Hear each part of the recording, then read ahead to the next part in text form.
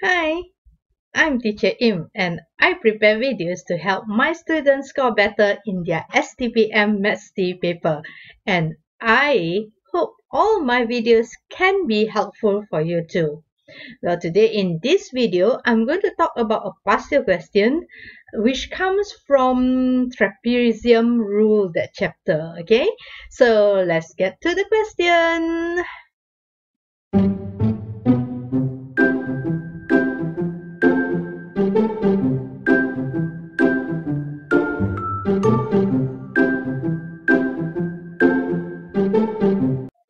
Now, before we go to the question, we you need to understand and know that the trapezium rule, that formula actually is in your exam paper.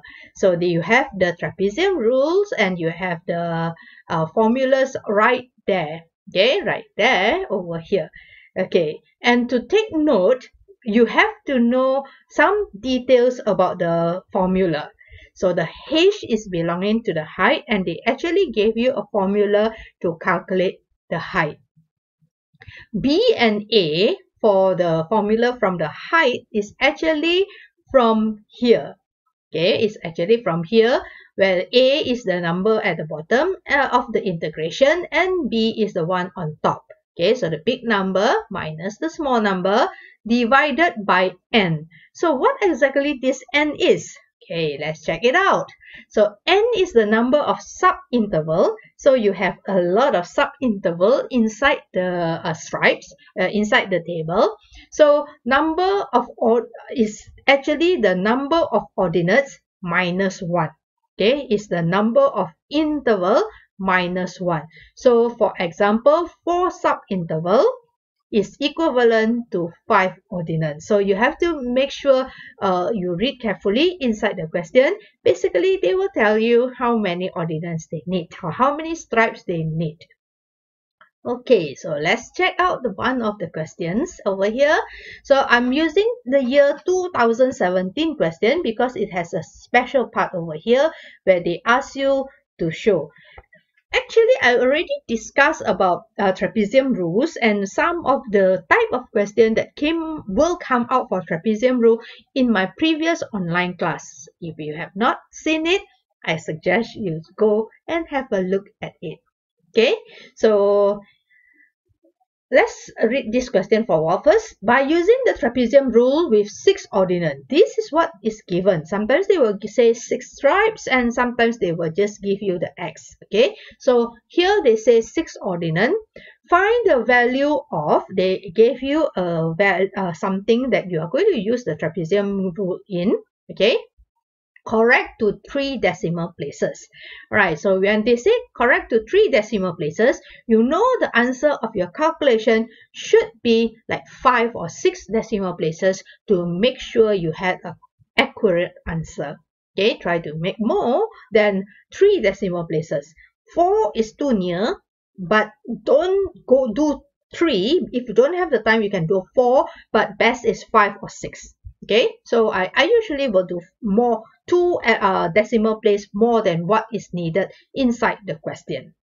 Okay so the first thing is you need to know they gave you six ordinates so you have to know that is actually only the n is five. Okay so you will write this out. So this you are just now I mentioned already is inside the question. So 2 is from the element that they gave you here.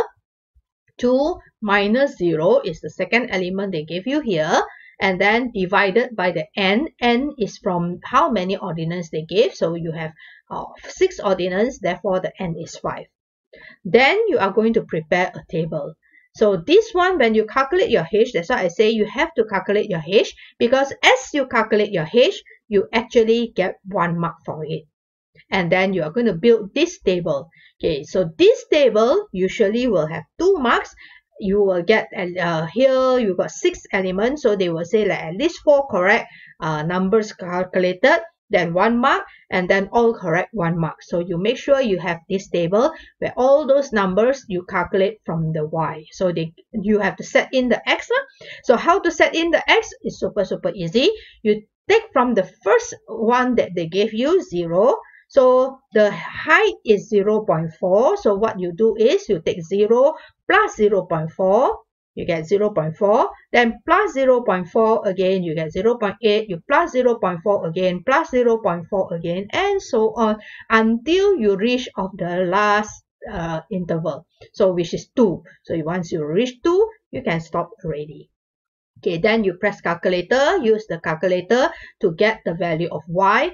And uh, remember, uh, make sure you have all these numbers in the correct decimal places that you need. You have to be consistent. So if you start with five decimal places, okay, you will end up each and every one must have five decimal places. You cannot like first one five decimal places. Second one i want to use six decimal places. No.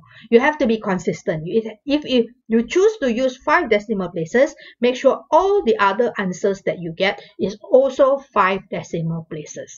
Okay? But the question need three i know but be patient. You can't do that until the final answer. Okay so now i'm going to transfer the information that i have inside the table okay so the table is two marks first so as promised so here is five marks eh? so we have the h is one mark the table is two marks finish uh, with that so here is the table again i'm going to go for Using the trapezium rule, I want it correct to three decimal places. So therefore, I'm going to put it inside the trapezium rule. So this is my trapezium rule. You do not need to copy it from the uh, list that they gave you, but you are going to apply it. Okay, you definitely need to apply this. Follow the equation. So 1 over 2. So you got 0 0.4 is the one that you calculated the h. Okay, and then the first number the y naught is the first number and then the y uh the value here okay is yn sorry typing error here. So yn means the last number here all right and then you have the full calculation of the center list.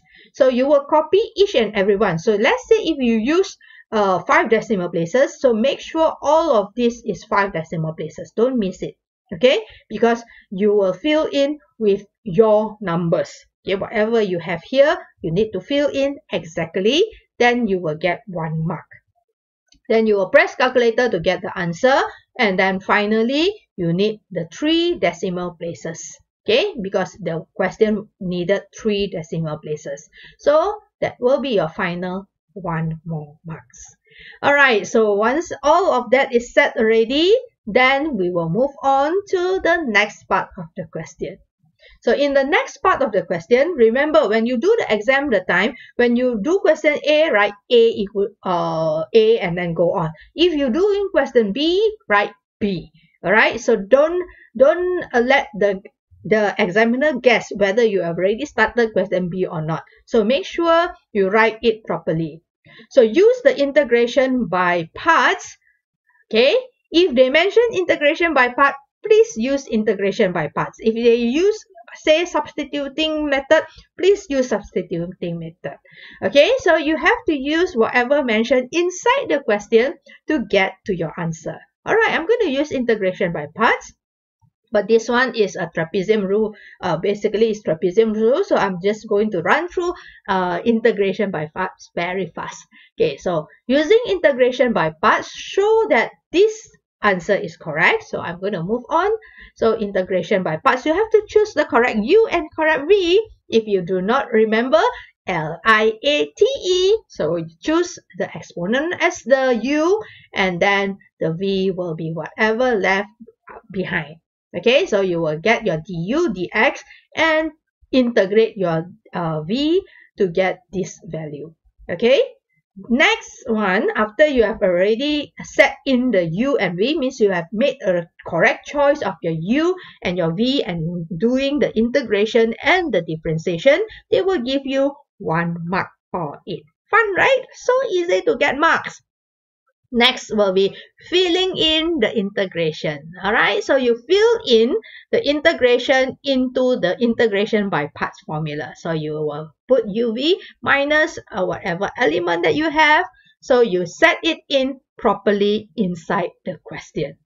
Okay, once you have already done that, So this part you can solve, this part you need to simplify and integrate.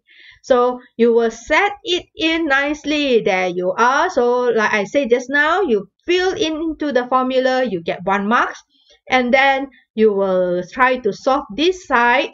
Okay. And then this one you will simplify before you integrate. But actually we are not going to integrate that. Do you recognize which part is, which one this, this belongs to?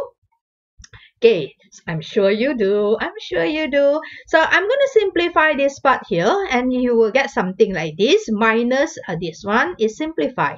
So if you look at the question, it is already proven. Okay, it's, they asked you to show, so it's already shown. So that you will get one mark for that.